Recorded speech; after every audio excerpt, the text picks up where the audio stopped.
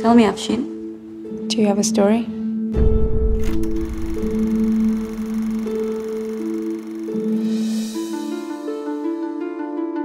You know, guys, I've been thinking.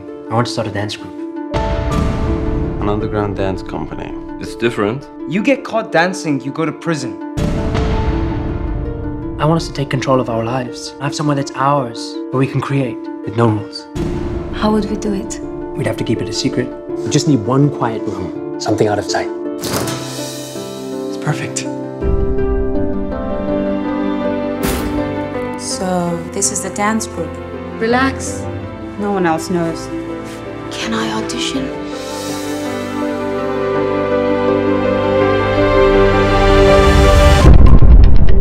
The regime, they're strangling us, and we're suffocating.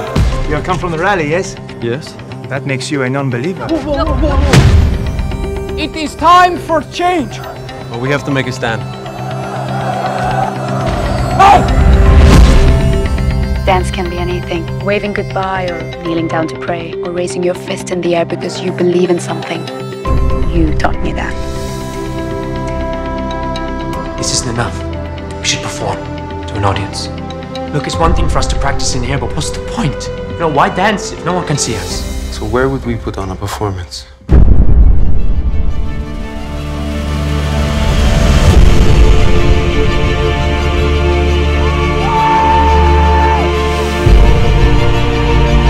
You're a beautiful dancer, you know that? Don't ever give it up.